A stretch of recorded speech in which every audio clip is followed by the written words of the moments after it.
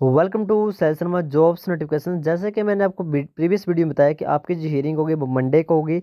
इसमें देखो ना, हुआ क्या है? आपको जो हियरिंग थी आज की, उसमें बताया गया था कि यदि पाँच बजे से पहले पहले यदि टाइम मिल गया, ठीक है, आज के जितने केसेज हैं, उनके बाद यदि टाइम मिल गया तो आपकी हियरिंग सुनी जाएगी, नहीं तो आपकी हियरिंग मंडे को होगी। ये कहा गया है, ठीक है? तो आपको कन्फ्यूज़ नहीं होना है। अभी आपके पास टाइम है। यहाँ पर आप पढ़, साफ़ तौर पर पढ़ सकते हो।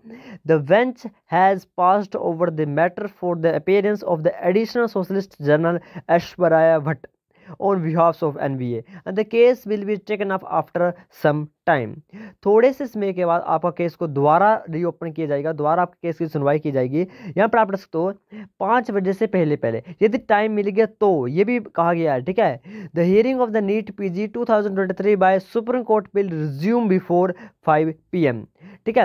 और the matter will be taken up at the end और जितने भी आज के केसेज हैं, उन सभी के बाद आपके जो टाइम मिल गया तो आपकी हियरिंग सुनी जाएगी। और एस पर आए भट्ट को बुलाया गया है। हुआ क्या यार कि कहा गया था कि एक पॉइंट या समथिंग दो लाख के करीब बच्चों ने अप्लाई किया है एन से पूछा गया।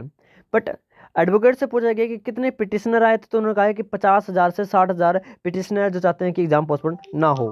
तो सुप्रीम कोर्ट का ये कहना है कि बाकी जो स्टूडेंट्स है बाकी जो मैक्सिमम एक लाख के करीब स्टूडेंट्स बाकी जो बच गए, उनका क्या है? वो तो नहीं चाहते हैं कि हमारा पोस्टपोन हो। इसके बारे में आपका क्या कहना है? इसके बारे में सुप्रीम कोर्ट के जज ने कहा है।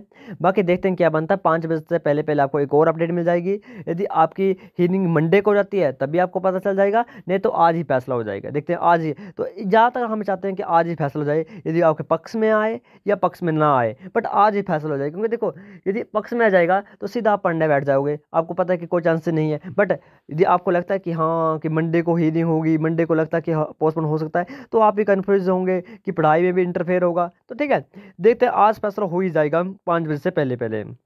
जहाँ तक तो लगता है, ठीक है। बाकी देखते हैं क्या बनता है। वैसे एस पर भट्ट को बुलाया गया है। देखते हैं क्या अपडेट आती है।